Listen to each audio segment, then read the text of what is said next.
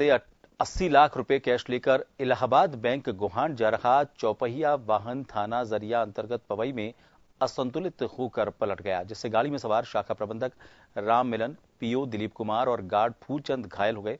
सूचना मिलने पर मौके पर पहुँचे चौकी प्रभारी गोहान अमर सिंह राजपूत और अन्य पुलिस बल की तरफ़ से कैश को सुरक्षित कर घायलों को इलाज के लिए सीएचसी गोहान भेजा गया।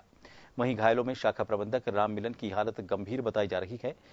कैश को बैंक से आए दूसरे कर्मियों के सुपुर्द कर दिया गया। जन टीवी की लेटेस्ट अपडेट पाने के लिए हमारे चैनल को ज़रूर सब्सक्राइब करें और नोटिफिकेशन पाने के लिए बेल आइकॉन दबाएँ।